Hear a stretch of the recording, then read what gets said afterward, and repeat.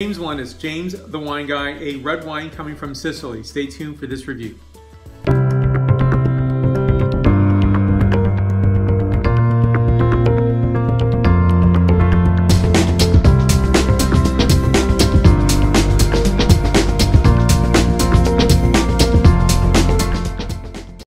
I love Sicilian wines and I can never get enough of them.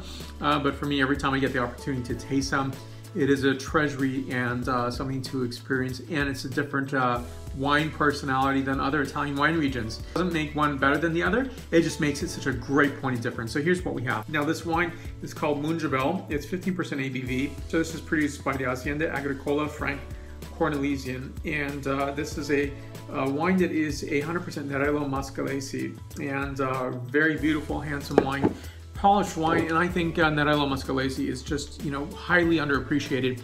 It's not quite what Nero d'Avola is in terms of its uh, name recognition, but it's getting there. And uh, just a different uh, flavor characterization, but somehow in many of the Sicilian wines, Siciliano wines, is you're tasting tart dash earthiness. And uh, that's a point of difference. It makes it so evocative. It just makes me want to be in Sicily, enjoying the amazing cuisine and uh, these gorgeous wines. So point score on this wine is 91 points out of 100 points. Let me tell you about the scent characterization, followed by the flavor profile. So on this I'm getting notes of blackberry game mushroom, rose petal earth, violets, and red tea. Next, the flavor characterization. The flavor characterization on this wine is strawberry, cherry, game, pepper, earth, violets, and red tea. Again, this wine is 91 points out of 100 points.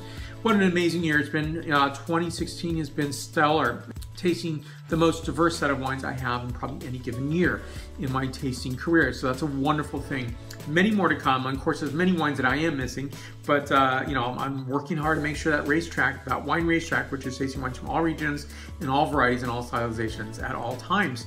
And so it's really, you know, keeping up and, uh, you know, uh, keeping myself disciplined to tasting in that trajectory.